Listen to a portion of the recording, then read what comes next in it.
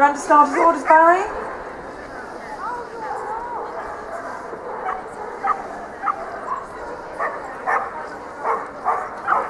So this is Oh What's Occurring. This is a working sheepdog. Ness is her pet now. She's got a lot to say for herself.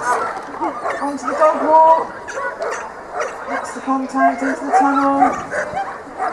That first the left shoulder, which she does. Very nicely through there.